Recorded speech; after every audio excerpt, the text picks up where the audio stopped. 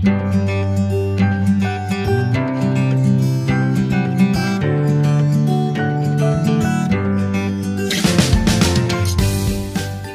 welcome back to my channel. So, the original plan was to visit Manila dahil may sasubmit akong documents. But then I realized na gusto ko nang bumalik sa Manila. And nag-isip ako ng isang plan na maghahanap ako ng apartment kung saan ako pwedeng lumipat. Kasi yung lumang apartment ko, sobrang hindi ko na talaga feel tumira doon. Kaya, eto, naganap ako ng apartment at eto na nga siya. Nakalipat na ako. Hindi ko na lang masyadong na-document kanina kung paano kami lumipat kasi sobrang dami namin ginagawa. Kasama ko yung kapatid ko, si, si Teacher Odi at si Father, yung tatay ko na very supportive. Tapos ang dami namin mga bitbit. Parang wala na akong time para ipakita pa sa inyo kung ano yung mga ganap. Pero so far, um, satisfied naman ako. Ito yung apartment. Actually, room lang naman. Room na nirentahan ko. Ipapakita ko sa inyo.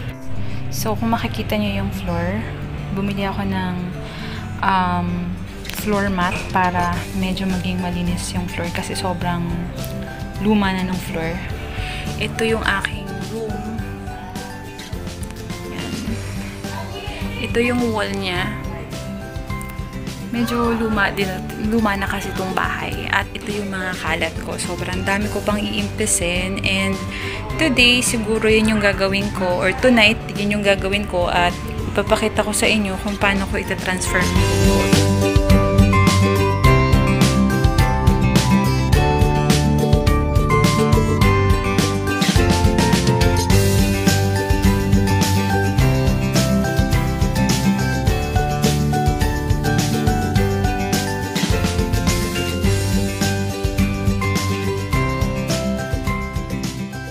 Guys, hindi ko na natiis. Sobrang init na init na talaga ako. Kaya naman, um, naligo na ako ng aking katawan bago ko ituloy itong pag-iimpis ng aking mga gamit.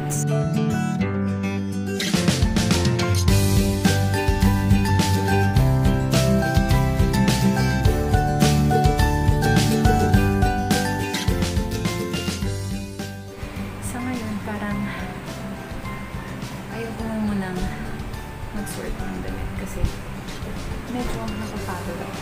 Medyo nakapagod ako. Gusto ko na lang muna magpahinga. And that's it for today, guys. I hope you like the arrangement. I hope you like the arrangement. So, nasa bagong bahay ako kaya hindi ako masyadong kapag makapag-ingay. So, today is my day one dito sa loob ng bahay. May kagawan.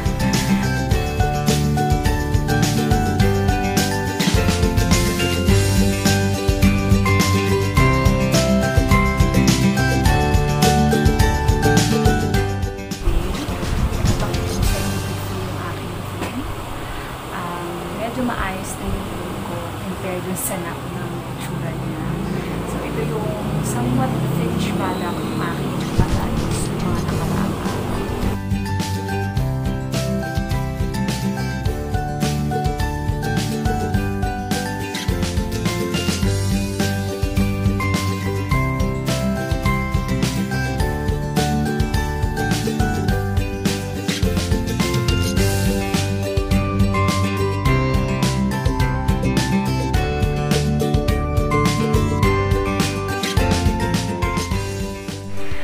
guys! Welcome back to my channel, aking Hilagyo by Miss D. I am your soul sister. So today, dumating na yung aking in-order sa Lazada, which is yung wallpaper. So today, plan ko siyang i-install.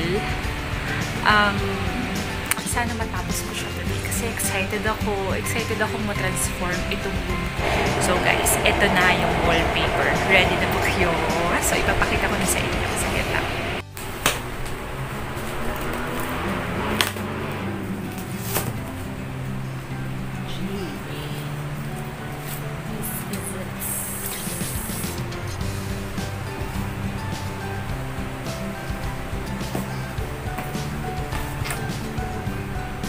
Bale, anim ito lahat. Ito yung itsura niya pagka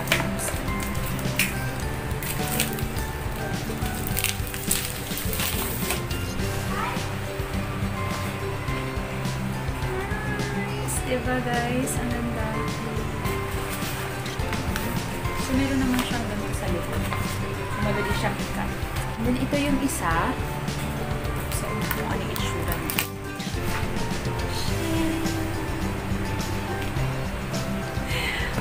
So happy.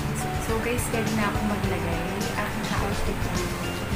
Kailangan ko lang sumatin yung buwan kung gaano siya kahaba para budget ko kung gaano kadami yung ilalagay ko dun sa um, side na to. Na to. Kasi uunahin ko siya. Kasi hindi nakakapunti yung dami. Siguro isusunod ko pwede ito or pwede ibang side na to. Kasi ito, ilalim lang naman. Ilalim lang naman yung lalagyan. Then siguro baka elastic ko na to ko rin itong part na to. So yan, ready na ba kayo guys?